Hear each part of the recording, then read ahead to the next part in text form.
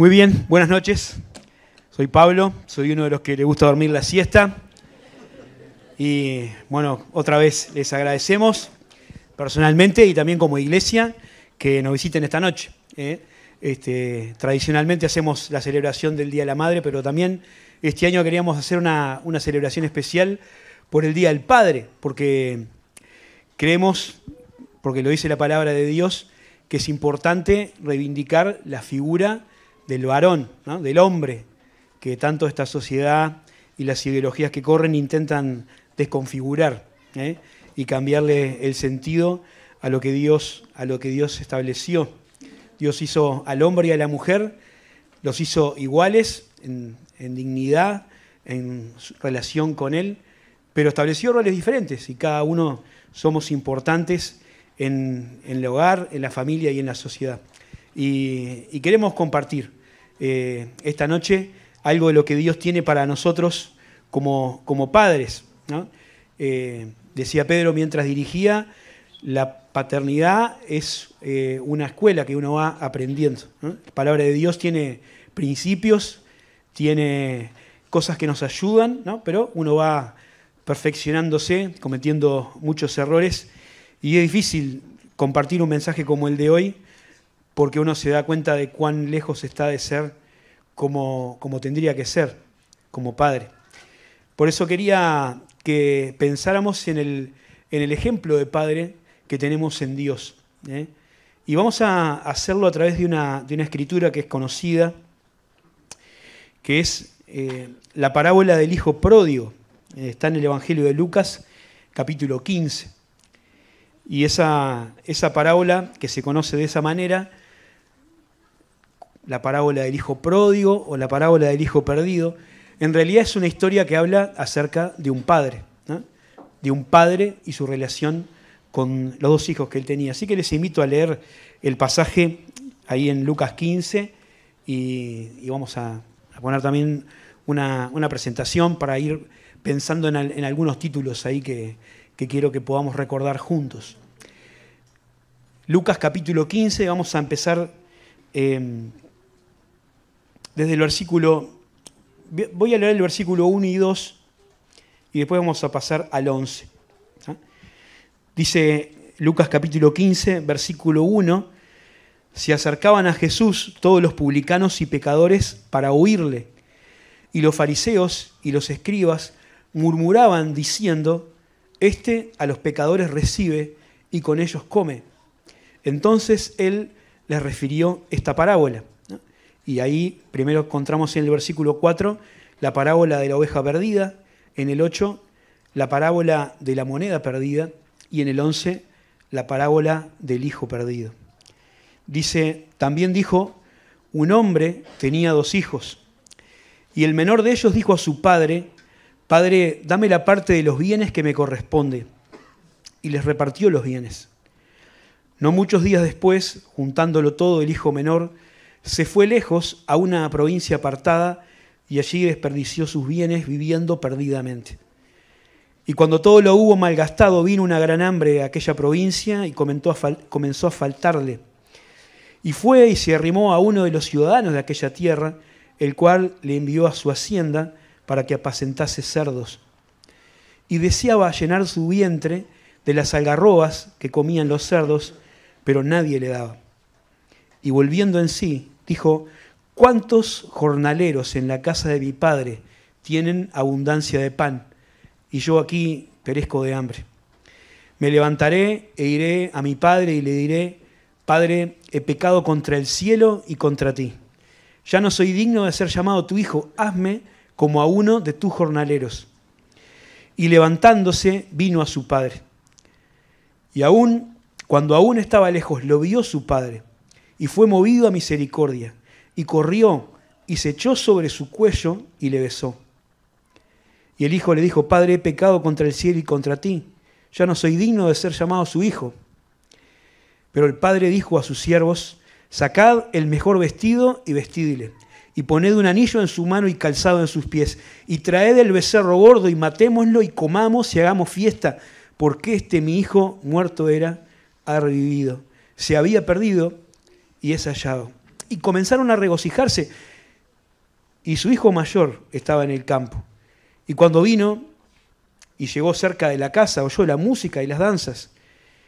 Y llamando a uno de los criados le preguntó qué era aquello.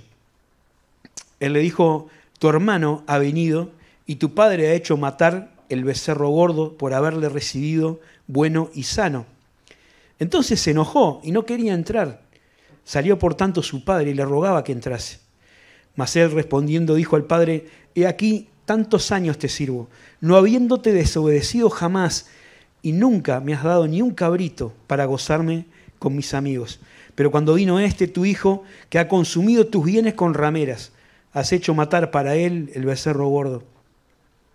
Entonces le dijo, hijo, tú siempre estás conmigo, y todas mis cosas son tuyas, mas era necesario hacer fiesta y regocijarnos porque este tu hermano era muerto y ha revivido, se había perdido y es hallado. Una lectura quizás que para muchos conocida, es una de las parábolas eh, que se suelen conocer más allá de los ámbitos de la iglesia. Las parábolas son historias que Jesús contaba, eh, una forma de ilustrar, ¿no? de dar ejemplo para transmitir una, enseñanza espiritual. ¿no? Son historias que pueden ser hechos reales, no necesariamente tienen que serlo, pero son historias de la vida cotidiana de la gente. Y cuando uno las encuentra en la palabra de Dios, tiene que mirar para tratar de entender cuál es la lección la razón por la cual Jesucristo contó la parábola. Por eso leí los versículos 1 y 2 del capítulo 15. Jesús contó esta parábola porque había un grupo de personas que ahí se describen como los fariseos, que eran una secta religiosa, muy metódica, muy estricta de los judíos, que decían a Jesús, ¿no? le recriminaban a Jesús que comía con publicanos y con pecadores. Eran personas consideradas de lo más bajo de la sociedad. ¿no? los mayores pecadores. Los publicanos eran recaudadores de impuestos para el imperio romano que lo estaba gobernando. Y bueno, después otra clase de pecadores ahí en general. Ellos se consideraban muy justos por cumplir minuciosamente la palabra de Dios y menospreciaban a las demás personas. Para ellos, los justos, los que guardaban la ley, tenían que guardar una separación, estar lejos de la gente que no era tan santa como ellos. Por eso cuando veían al Señor Jesús sentarse y compartir con personas que no tenían su nivel espiritual, se indignaban. Y por eso Jesús dice que contó estas parábolas. Hay tres parábolas que son similares o tienen puntos en común. Yo les decía, como dicen los títulos de la Biblia, la parábola de la oveja perdida, la de la moneda perdida y la del hijo perdido.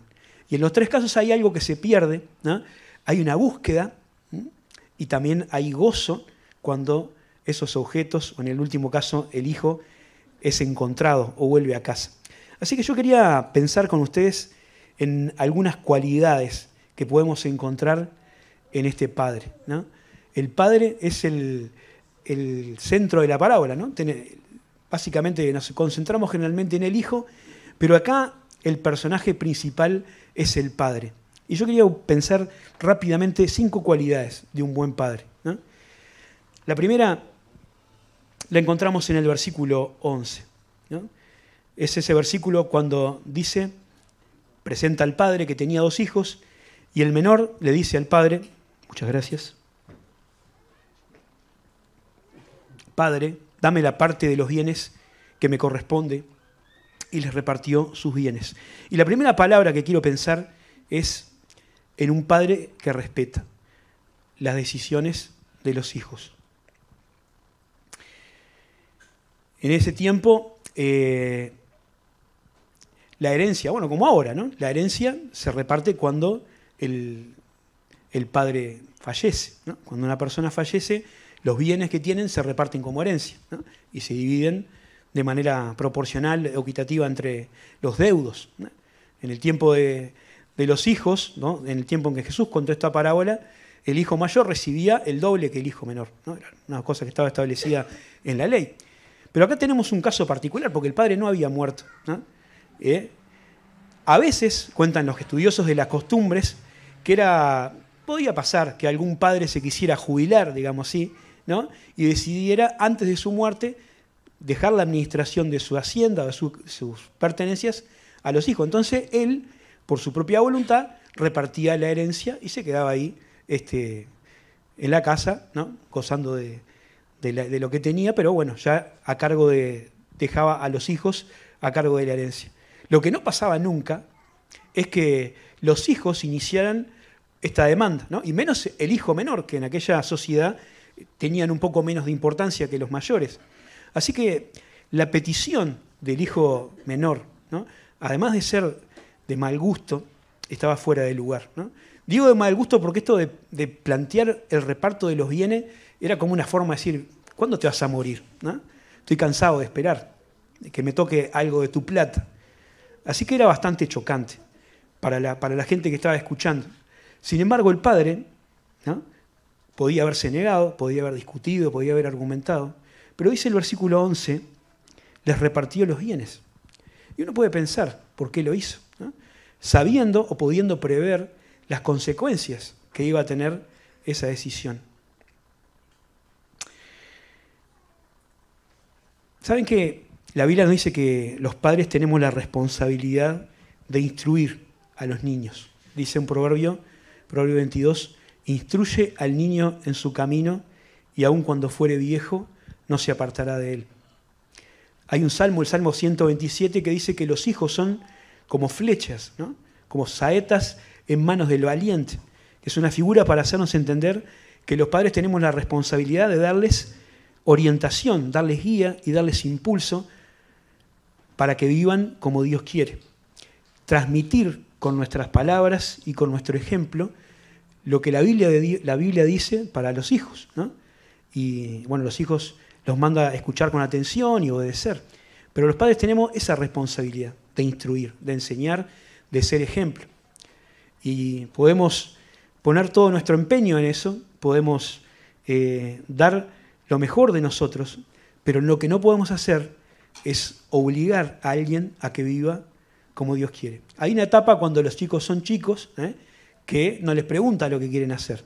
No les pregunta si quieren bañar, si quieren ir a la escuela, si quieren tomar los remedios. Los padres decidimos por ellos y les hacemos hacer las cosas que tienen que hacer para su bien. Pero a medida que la vida avanza, ya eso va a ir cambiando. Y cuando un hijo ya es grande, y tiene edad para decidir por sí mismo, va a tener que optar el camino por el que quiere andar. Si quiere seguir el camino que sus padres le enseñó o quiere ir por otro camino. Y hay una etapa ahí en el medio que es la adolescencia que es un problema. Pero los padres transmiten la enseñanza y esperan que sus hijos la sigan. Y qué triste es cuando eh, los hijos eligen otra cosa que a pesar de, la enseñanza y del ejemplo y de todo lo que hicieron con aciertos y errores, ven que los hijos agarran por otro camino y se alejan. Se alejan de la casa, se alejan de los caminos de Dios, se alejan de los valores y de, las, de los principios que uno les transmitió. Pero bueno, así es la vida. Pensaba, Dios también siente esa experiencia. Porque la Biblia dice que Dios hizo al ser humano, al hombre y a la mujer, a nosotros como raza, y le dio una autonomía, le dio la posibilidad de elegir.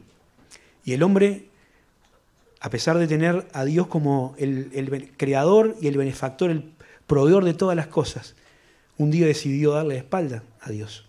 Y agarró por su lado. Y dice la Biblia, usando una figura, todos nosotros nos descarriamos como ovejas cada cual se apartó por su camino. Nadie busca a Dios, dice un salmo. Y Jesús mismo utiliza una, una imagen bien gráfica para hablar de cómo como humanidad nosotros somos rebeldes a Dios y queremos hacer lo que nos da la gana. Jesucristo mirando la ciudad de Jerusalén, que era la capital de Israel, le dice a su pueblo ahí en Mateo 23, 37, Jerusalén, Jerusalén, que matas a los profetas, que apedreas a los que te son enviados a ti. ¿Cuántas veces quise reunir a tus hijos como la gallina junta sus polluelos debajo de sus alas y no quisiste? Y esa actitud de rebeldía, de agarrar para su propio lado, también tiene sus consecuencias. porque la Biblia también enseña eso. ¿no? Dios da autonomía, Dios nos da la libertad de elegir y de tomar nuestro propio camino, pero nos advierte que ese camino que tomamos tiene consecuencias. Y que a veces, cuando nos apartamos del camino que Dios trazó, las consecuencias son nefastas. Y uno puede leer en muchos pasajes de la Escritura lo que pasa en el mundo y puede entender lo que pasa. El hombre se alejó de Dios. En Romanos 1, el apóstol Pablo dice, y como ellos, hablando de nosotros, de los seres humanos, no aprobaron tener en cuenta a Dios, Dios los entregó a una mente reprobada para hacer cosas que no convienen, estando atestados de toda injusticia, fornicación, perversidad, amaricia, maldad, llenos de envidia, de homicidios, de contiendas, engaños, malignidades. Y la lista sigue poniéndose cada vez peor. Como humanidad, elegimos transitar un camino que se aleja de Dios y que está pagando las consecuencias. Somos una sociedad insatisfecha y autodestructiva. Somos una sociedad que está constantemente eh, luchando contra sí misma y sobre todo una sociedad condenada eternamente, porque es el resultado de nuestra propia decisión. Dios respetó esa decisión, porque así nos creó, pero también te dice, que si nosotros estamos lejos de Dios, estamos condenados eternamente. Ahora, como el padre de la parábola, Dios también está esperando que volvamos a casa. Y la segunda palabra es que el buen padre recibe.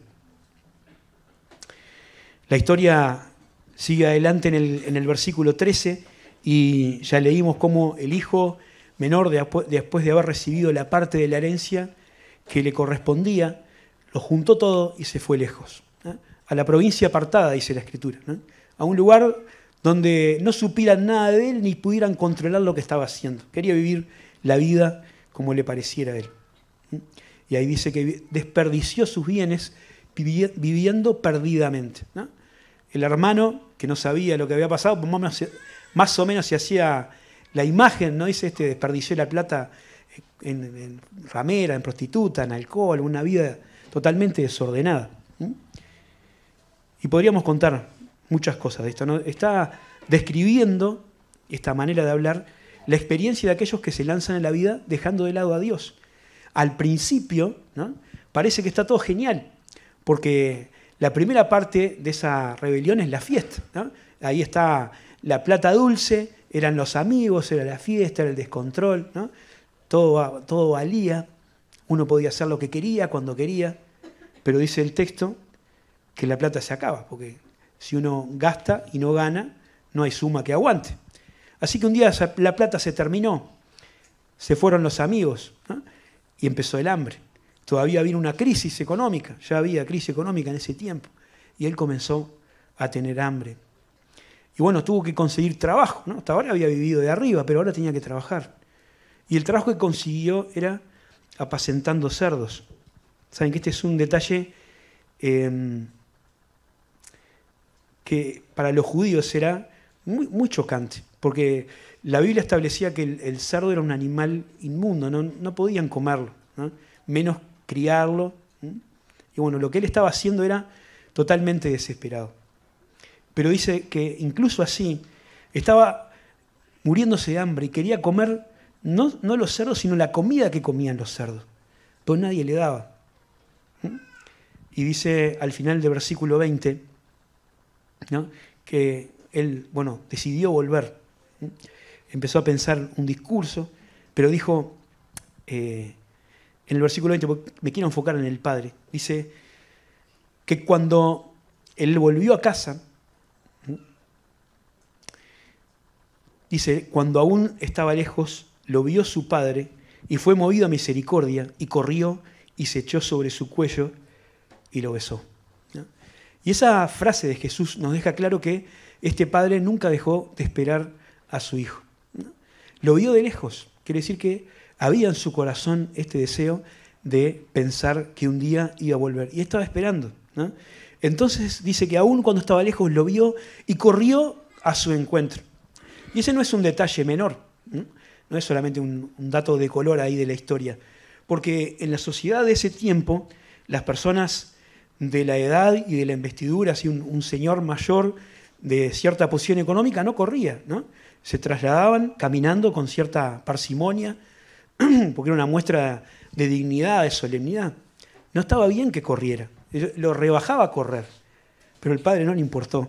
El padre corrió al encuentro de su hijo, lo abrazó y lo dejó. No le importó tampoco el, estado andrajoso y maloliente de su hijo. Dice que lo abrazó, se echó sobre su cuello y lo besó. Era el mismo hijo que lo había humillado pidiéndole la parte de los bienes que le correspondía. Era el mismo que le había eh, menospreciado, yéndose lejos y olvidándose de su familia. Era el mismo hijo que había sido malagradecido, grosero y hasta agresivo, quizás, pero ahora estaba otra vez ahí. Y el padre lo recibió, porque el amor superaba todas las barreras. Y yo no sé qué, harías vos si se tratara de tu hijo. Eh, el que se fue de tu casa, el que un día te hirió, capaz que te robó o hizo alguna cosa de esas que te quedan clavada como un puñal en el corazón, pero un día viene como vino este hijo, con un arrepentimiento genuino y vuelve a casa. Quizás pueda recibir también, como aquel padre, ser recibido con los brazos abiertos. Y esa era la gracia, el favor inmerecido, el amor incondicional que los fariseos no entendían. Ellos decían, ¿cómo puede ser que este Jesús ¿no?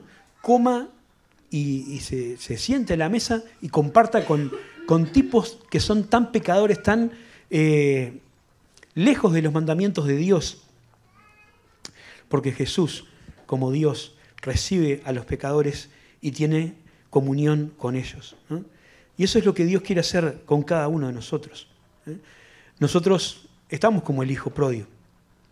Si nos alejamos de Dios, estamos en la misma condición, separados de Dios, en esa miseria espiritual, con esa insatisfacción y ese deseo de algo más que el mundo no nos puede proveer. Pero si decidimos volver a Dios, Dios nos recibe. No por lo que nosotros hicimos, no por lo que somos, sino por lo que Dios es, porque Dios es amor. Y Dios mira por encima de nuestro pecado, no porque lo apruebe o porque no lo importe, sino porque el Señor envió a su Hijo Jesucristo al mundo para que ese pecado fuera ya pagado en la cruz.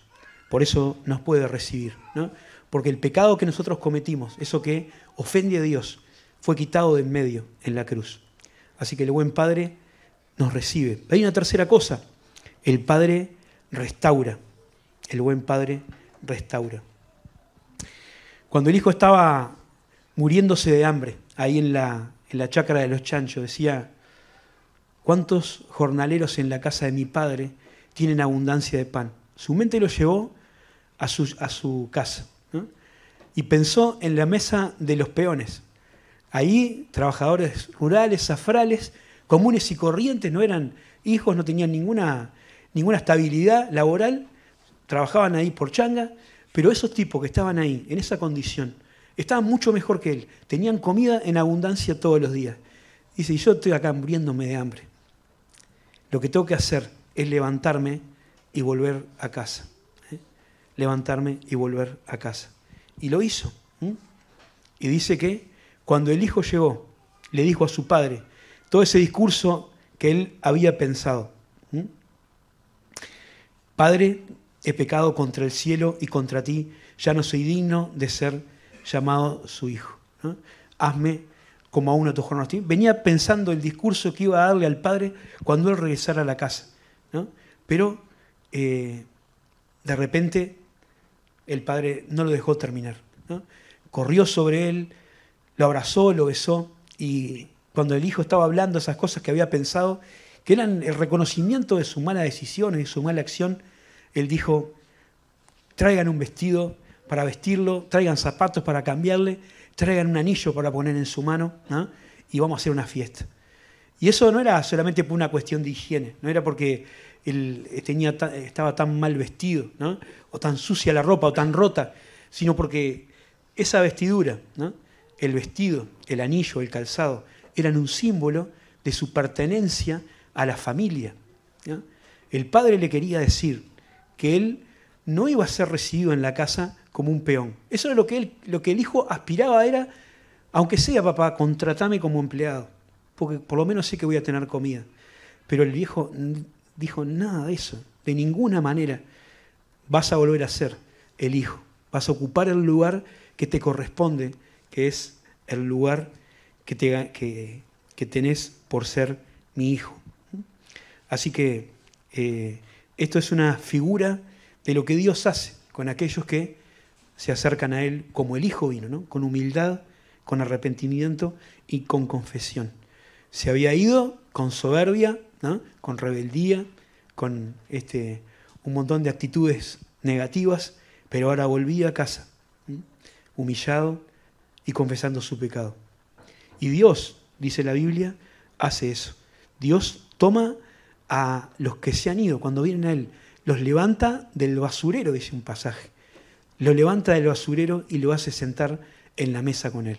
Qué tremendo, qué bendición. Saber que no importa lo que uno haya hecho en la vida, los malos pasos que haya seguido, no importa qué tan lejos estés de Dios.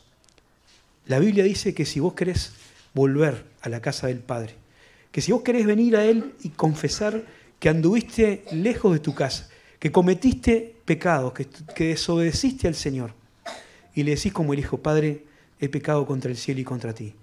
Ahí hay una puerta abierta que te está esperando para ser recibido, pero no solamente para ser recibido, sino para ser restaurado y para que recibas el lugar que Dios pensó para vos. La Biblia dice que Dios nos creó para que nosotros estuviésemos en comunión con Él y disfrutemos con Él de la compañía. Dice Juan 1, 1 Juan 1, 8 y 9. Si confesamos nuestros pecados, Él es fiel y justo para perdonar nuestros pecados y limpiarnos de toda maldad. Y no hay pecado tan grande que el Señor no pueda perdonar. La sangre de Jesucristo, su Hijo, nos limpia, dice la Escritura, de todo pecado.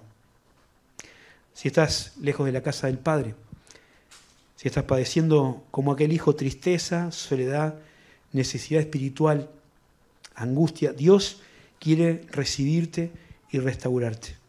Dice Isaías 55, 7, deje el impío su camino y el hombre inicuo sus pensamientos y vuélvase a Jehová el Señor, el cual tendrá de él misericordia, y al Dios nuestro, el cual será amplio en perdonar.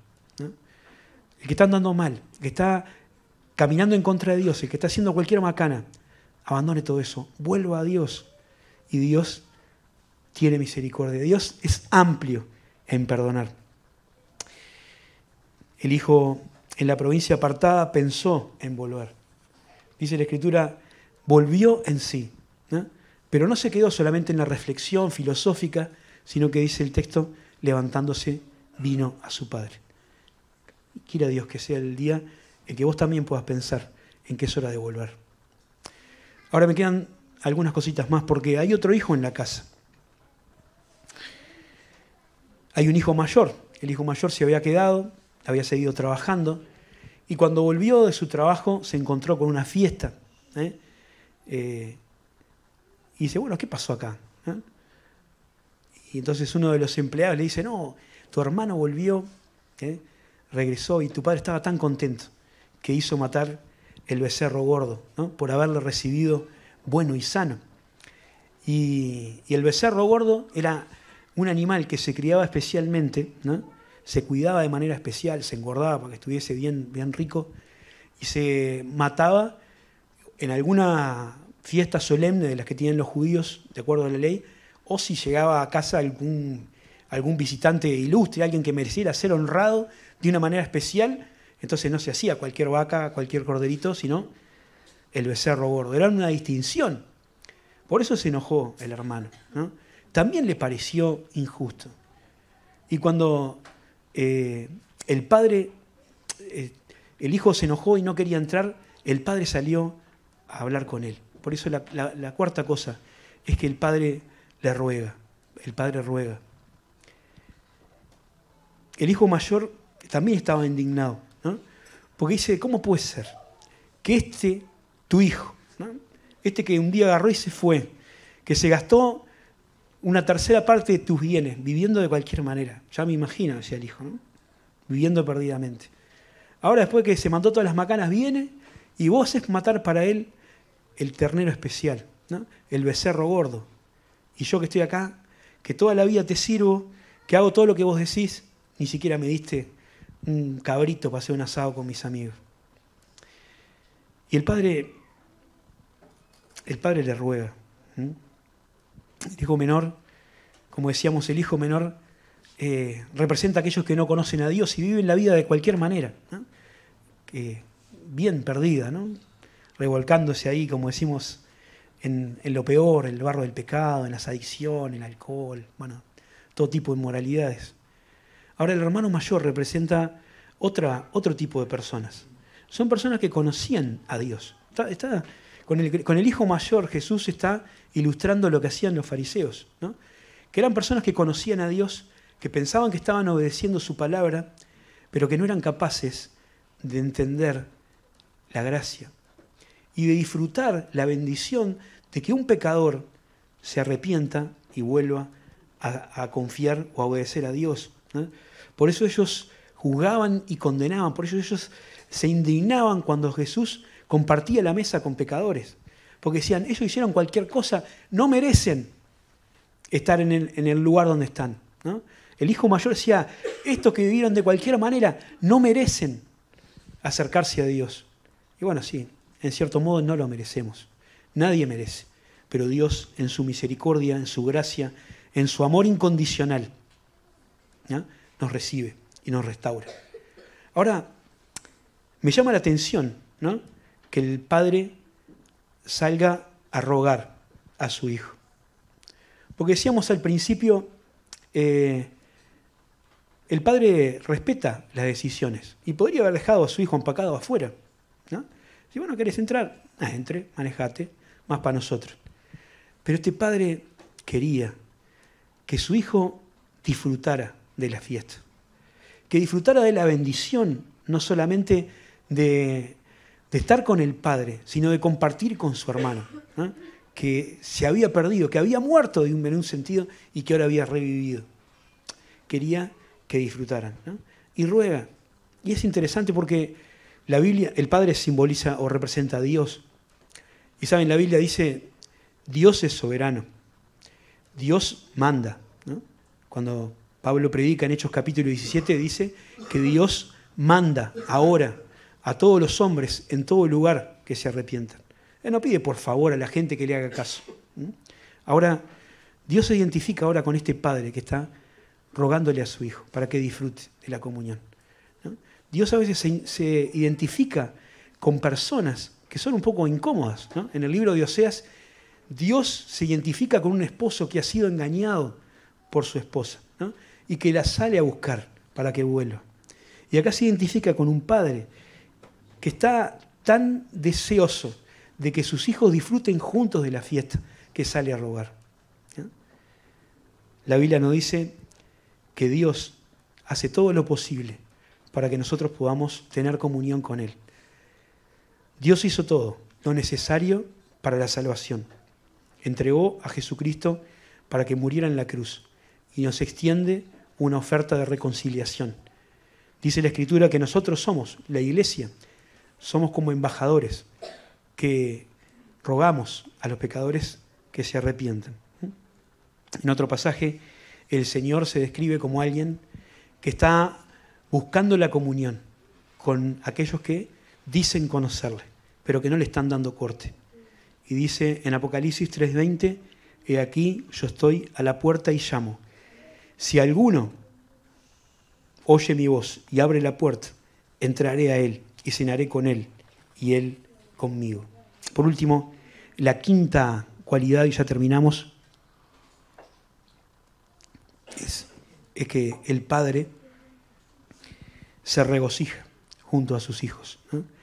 Y ahí el Padre, hablando con el Hijo mayor, dice en el versículo 31, Hijo, tú siempre estás conmigo, todas mis cosas son tuyas. Pero era necesario hacer fiesta, y regocijarnos porque este tu hermano era muerto, ha revivido y es hallado. Y este final de la parábola tiene una imagen calcada de las otras parábolas anteriores. El pastor había perdido una oveja, la buscó hasta encontrarla y cuando la encontró dijo, hagamos fiesta. La mujer que había perdido una moneda, seguramente de un collar muy especial para ella, cuando la encuentra, dice, hagamos fiesta, porque encontré la moneda que había perdido. Y en esta historia el padre dice, es imprescindible hacer una fiesta, porque este hijo que se había perdido ha sido encontrado. La alegría del padre era incontenible. Y bueno, deseaba disfrutar con su hijo menor que había revivido, pero también con su hijo mayor. Y yo no sé con cuál te puedes identificar. Quizás con el hijo menor, ¿no? Porque el hijo menor nos ilustra a las personas que, no tienen en cuenta a Dios en su vida, ni en sus decisiones, que viven como les da la gana, que toman sus decisiones libremente, entre comillas.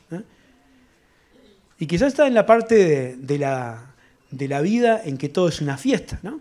Porque haces como querés, vivís como querés, parece que todo marcha bien. Pero si no llegó, un día va a llegar la cuenta, como le llegó al hijo menor, cuando se le gastó la plata y tuvo que trabajar en lo peor que había para poder sobrevivir. ¿Mm? Si estás en esa situación, la Biblia dice que la puerta de la casa del Padre está abierta para que puedas volver a casa.